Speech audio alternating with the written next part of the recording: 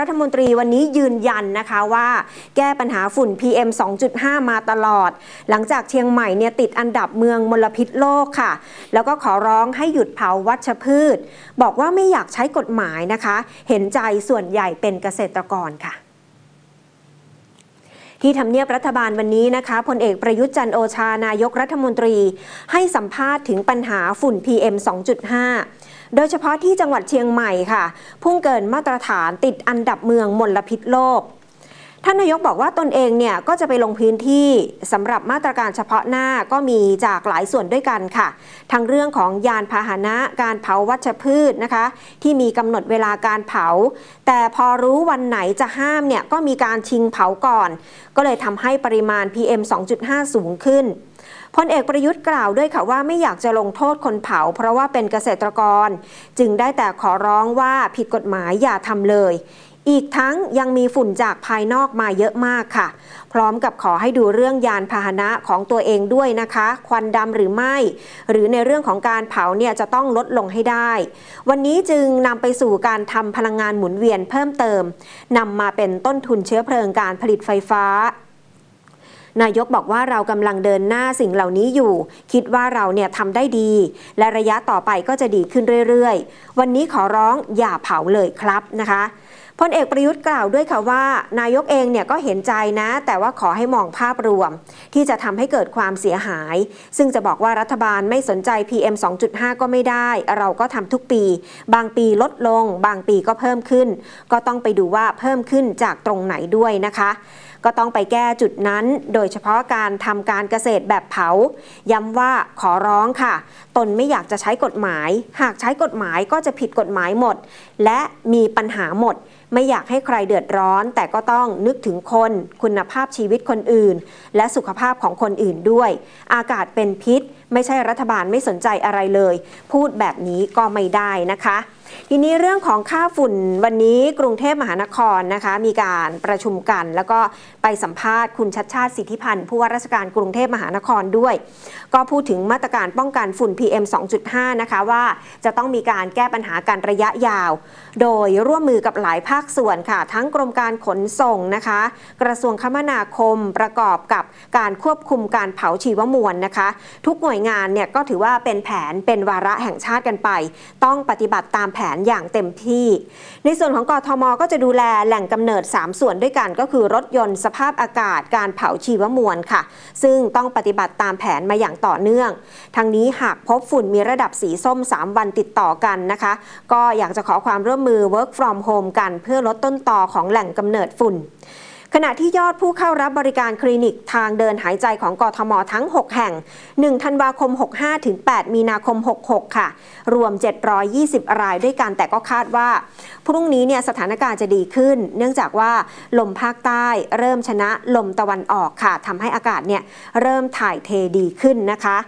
ทีนี้ในเรื่องของค่าฝุ่นเนี่ยนะคะ ในส่วนของกระทรวงสาธารณาสุขเองนะคะ โดยนายแพทย์โอภาสการกวินพงศ์ปลัดกระทรวงสาธารณาสุขบอกว่าวันที่ 8 มีนาคมที่ผ่านมาเนี่ยพบว่ามีค่าฝุ่นนะคะ PM อยู่ที่ 51 ไมโครกรัม ต่อลูกบาทเมตร ค่าฝุ่นก็เริ่มมีผลกระทบต่อสุขภาพติดต่อกันเกิน 3 วันแล้วจำนวน 15 จังหวัดนะคะ ส่วนพื้นที่ที่มีค่าฝุ่นมากกว่า 51 ไมโครกรัม ต่อลูกบาทเมตร แต่ไม่ต่อเนื่องเกิน 3 วันมี 36 จังหวัดด้วยกัน ค่าฝุ่นปีนี้เนี่ยสูงกว่าปีที่แล้วก็อย่างที่ทราบกันนะคะ ปีที่แล้ว 2 ปีที่แล้วเนี่ยมันมีเรื่องของสถานการณ์โควิด ส่วนใหญ่ก็จะทำงานแบบ work from home กันตรงนั้นค่าฝุ่นก็จะไม่เยอะ แต่ว่าปีนี้เยอะขึ้นมานะคะ จากการประเมินสถานการณ์ 9-14 มีนาคมค่ะ ในส่วนของอากาศเนี่ยจะเริ่มดีขึ้นเรื่อยๆนะคะ อย่างที่คุณชัดชาติบอกก็คือลมใต้เนี่ยมันจะพัดเข้ามาพาฝุ่นละอองออกจากพื้นที่ไป แล้วก็ในช่วงที่เข้าสู่ฤดูร้อนแบบนี้นะคะ คาดว่าจะยังมีปัญหาอยู่อีก 1-2 สัปดาห์นะคะ เพราะฉะนั้นเนี่ยจะออกไปไหนมาไหนสวมใส่หน้ากากอนามัยด้วย แล้วก็ตัวเลขนะคะ ตัวเลขสำหรับผู้ป่วยเกี่ยวกับ โรคนะคะที่เกี่ยวกับมลพิษทางอากาศเนี่ยตั้งแต่ 1 มกราคมถึง 5 มีนาคม พบตัวเลขของผู้ป่วยนะคะอยู่ที่1ล้าน3 25,838 รายด้วยกัน ทีนี้ไปตามต่ออีกนิดนึงนะคะ เรื่องของออไฟป่าค่ะ ไฟป่าที่บ่อไร่ ตอนนี้เนี่ยเข้าสู่วันที่ 11 แล้วนะคะสำหรับภารกิจ ดับไฟป่าที่บ่อไร่ที่จังหวัดตราดค่ะ หลายจุดเริ่มมอดแล้วนะคะ ไม่พบมีไฟไหม้เพิ่มขึ้นมา เหตุการณ์ไฟไหม้ป่าพื้นที่อำเภอบ่อไร่จังหวัดตราดนะคะ เข้าสู่วันที่ 11 หลายพื้นที่เนี่ยไฟเริ่มดับลงแล้วนะคะ แต่ยังมีกลุ่มควันจางๆ บางจุด เหลือแค่ไฟที่คุกุ่นอยู่ค่ะ แล้วก็บางจุดเนี่ยนะคะเริ่ม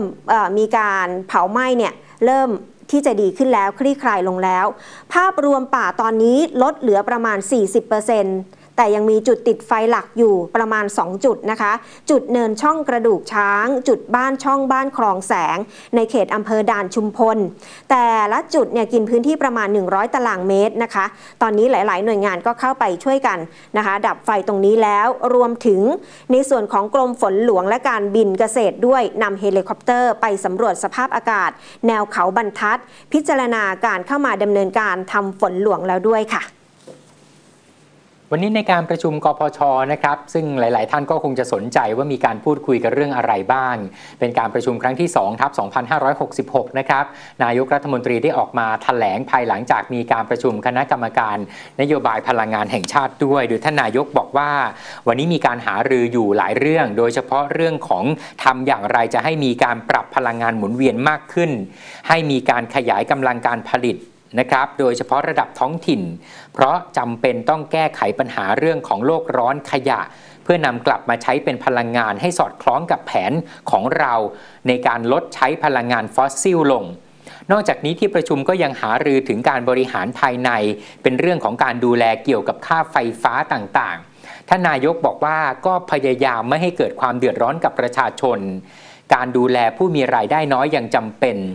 ในส่วนของราคาพลังงานอยู่ระหว่างการรับฟังความคิดเห็น ยืนยันว่าไม่ต้องการทำให้ใครเดือดร้อน แต่ต้องเข้าใจว่าต้องบริหารอย่างระมัดระวัง ถ้าบริหารไม่ถูกต้องไม่ดีจะมีปัญหาระยะยาว ซึ่งยืนยัน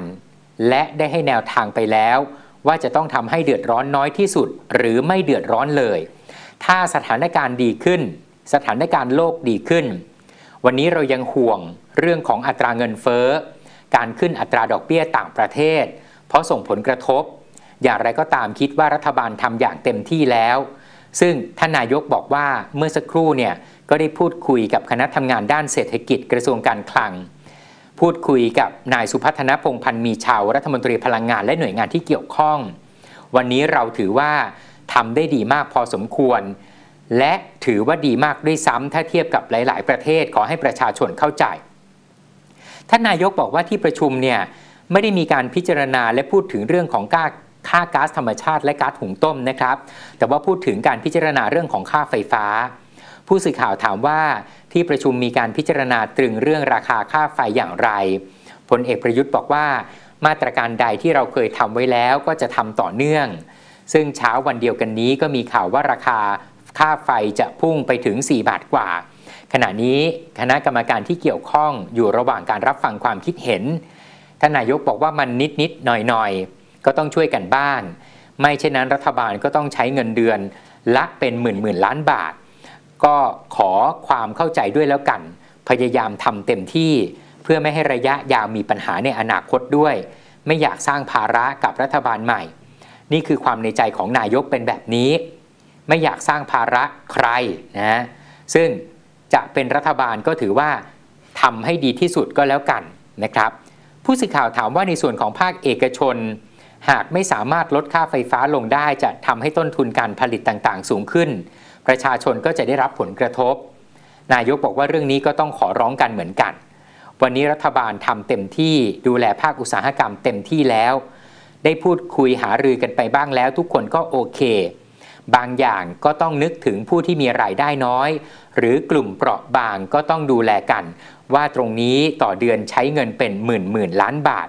ดูแลกันอย่างเต็มที่แล้ว ในส่วนของภาคอุตสาหกรรม ก็ต้องขอร้องกันว่าอย่าขึ้นราคาสินค้าอะไรเลย นี่เป็นสิ่งหนึ่งที่ท่านนายกรัฐมนตรีนะครับได้ออกมาพูดหลังจากการประชุมคณะกรรมการกพชในวันนี้ครับ ก่อนจะเบรกนะครับ แจ้งเตือนท่านผู้ชมนิดหนึ่งนะฮะวันนี้เนี่ยอย่าเพิ่งเติมน้ำมันนะ เดี๋ยวพรุ่งนี้ตีห้าค่อย